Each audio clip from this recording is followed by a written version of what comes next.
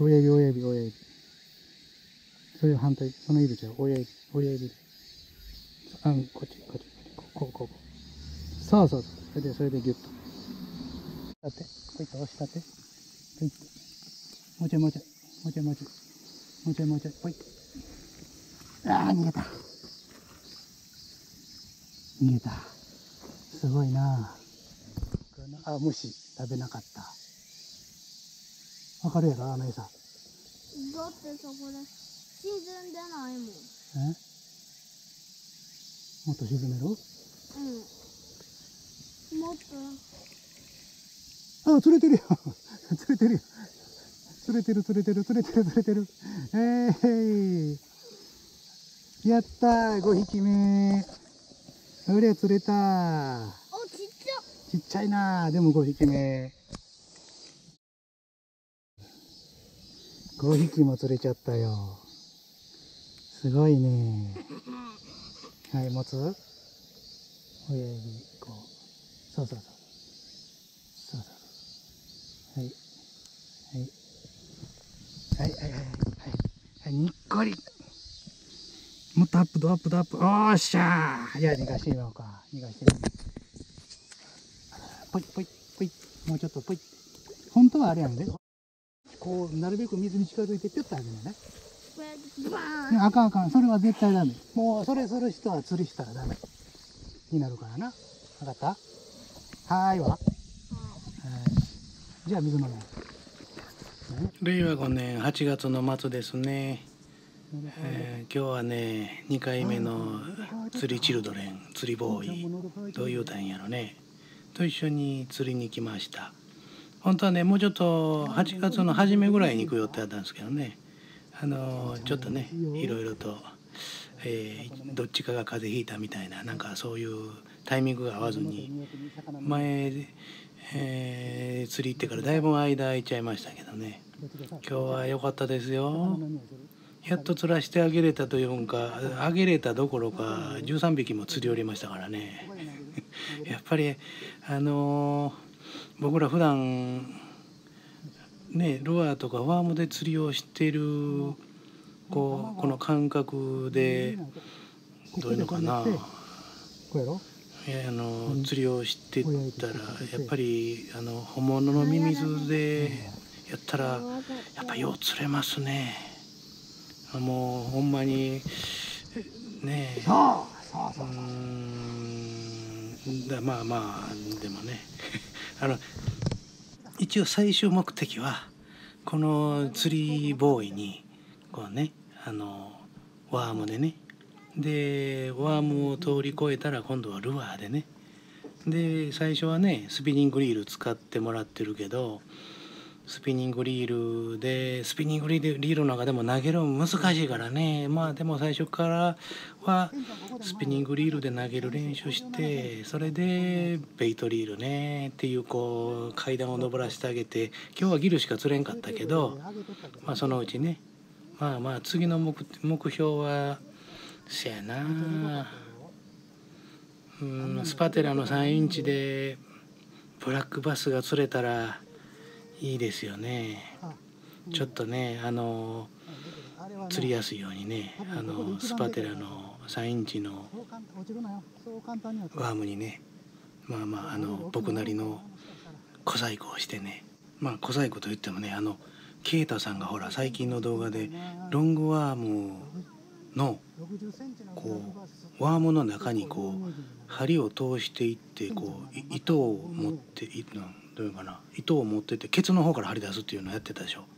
ね僕あの発想が思いつかなんでえっ、とねきょ去年一昨年かなイヌリグが流行った時あるじゃないですかあの時にねあの多分動画であるからあの出て調べてもらったら出てくると思うと思うんですけど直リグっていうのをやった時期があったんですよ。あの僕もあのワームの中に針を通してっていうのは一緒なんですよ。ただね針をこう通しながら糸を持っていくっていう発想がなかったんで僕はもうあの短いショートワームの中心に穴を開けて、えーあれなんなんのなんかの棒を使ってたんですよ。あ針やえっ、とね100均であの太いあの裁縫針みたいなん買うてきてそれで真ん中に穴開けつつあのその、えー針、えー裁縫針のあの糸通すところに あのね糸と糸じゃなくて釣り釣り糸をね通してでケツにあの針をつけるっていうことをやってやって多分ね僕ね直リグっていうあの直リグっていう自分で勝手に命名して動画を作ってたのがあるからもしあの見てみたい変態さんはあの動画ですよ。ショート動画じゃなくて動画の方を探してもらったら多分あると思いますわ。うん、それを言うたらねあのスパテラの3インチやったら短いんでね啓太さんがやってた方法を使ってあのお尻の方に針出すんやったら多分簡単にできると思うんですよ。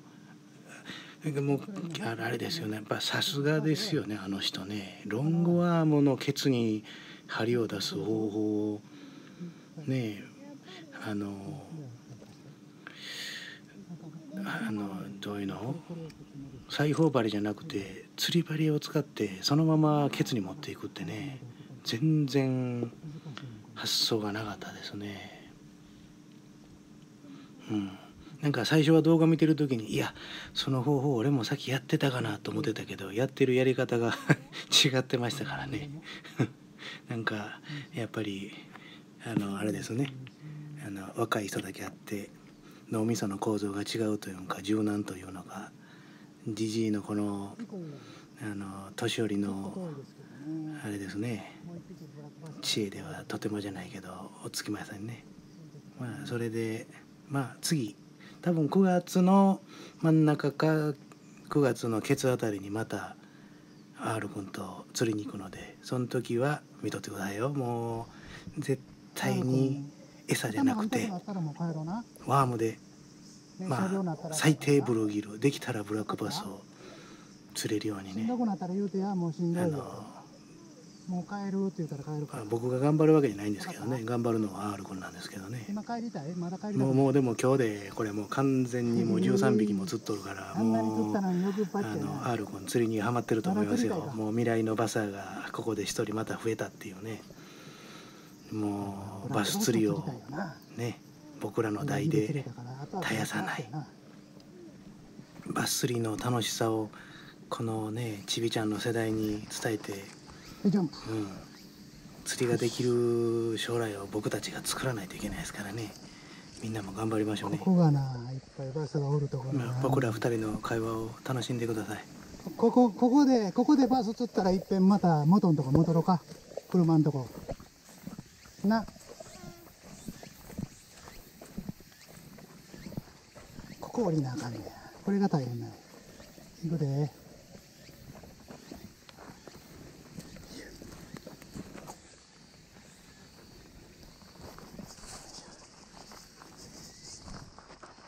しだけどほんまにダメだす引け引け引け引け引け引っ張れ引っ張れ引っ張れ。それでるほらブラブラブラックバス釣れた。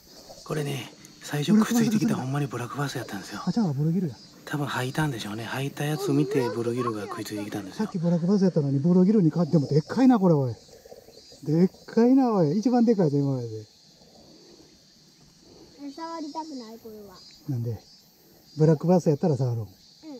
ですよ。ブラックあでっかいブラックバスおるそこにまあ次はね釣りを始める前にあま池についてからねまだまだまだまだまだまだちょっとこう投げる練習を今日もちょっとはしたんですよちょっとは練習したんですけどもっとしっかり練習してまああの次の場合はねスパテラで釣らそうと思ってるんであのこの、うえースーパーボールがついてないから投げやすいとは思うんですよ。あのまあまあ、飛距離は出るのは、まあ、飛距離は別にそんないらんですからね実際問題ここも。ブルーギルは見えるところにおるし。ブルーギルがおりゃもうバスもおるしね。で急にブルーギルがいななったらでっかいバスも来たりしてるんで。まあねそれで練習してこうキャストをうまくしてでねそのそこから先のねスパテラをこうミミズのようにシェイクするみたいなねねそういうとこまで。い。やちょっとそこまでは難しいかな。まあまあだけどねぼちぼちやってきゃ一応だからミミズも持ってきつつうん。釣れへんもう最初はスパテラやし釣れへんかったらまあミミズも持ってきつつみたいな感じで次はやっていこうと思ってますけどね。うん。いや結構あれですよ。あの自分の釣りができないからねあのちょっとこうこうなんかなどういうのかな欲求不満みたいな感じはあるんですけど やっぱりね 子供がこんだけ釣ってて喜んどったらねおっさんは楽しいですわ。すごいね。そのまま持ってなもうそのまま。はいはいはいもうまた。よいしょ。はいバイバイ。うん？あ持ちたかった？うん。じゃあ次のまたしたらはい釣れた釣れた釣れた。あかんかああ今のバスやったのに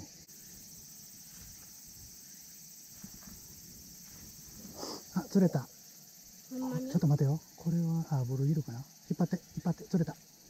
引っ張って、ひ巻い巻いて巻いて。あかん、逃げた。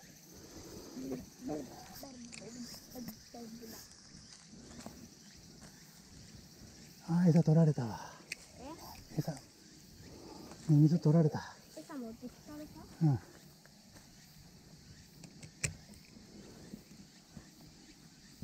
持ってくれるか？落ちるぞ。怖いやろ。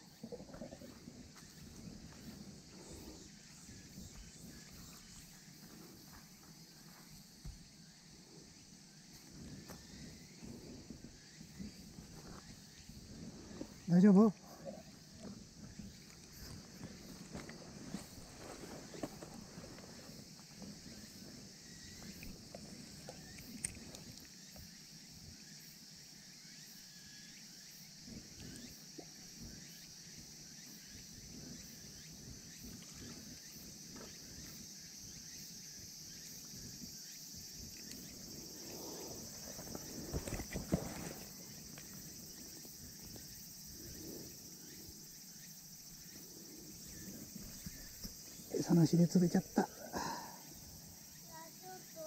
うん。餌なしで釣れた。餌なしでブルーギルが釣れた。ちょっと引っ張ってみ。あ、釣れてる釣れてる。もっと引っ張って。よし、オッケー。やっちゃー。また釣れた。ちっちゃじゃあさっきの足の、あ、俺よりちっちゃいな。さっきのよりちっちゃいな。よう釣れるな。13回いいな俺まだ1匹やのに。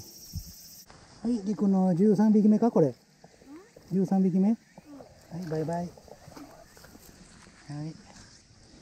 陸ばっかりいいね。まだ釣るあら釣るなんぼ釣る気や、お前は。ええな、自分ばっかり。わしも釣りたいのに。ええ俺も釣りたいぞ。ハルくん次も楽しみにしといてよ次こそブラックバスやで次はブラックバス釣ろねそれも餌じゃなくてワームでではまた、なくなってるやん。もう落ち、誰か落ちたで、これ。ここに木なくなってるな。もともとなかったっけ？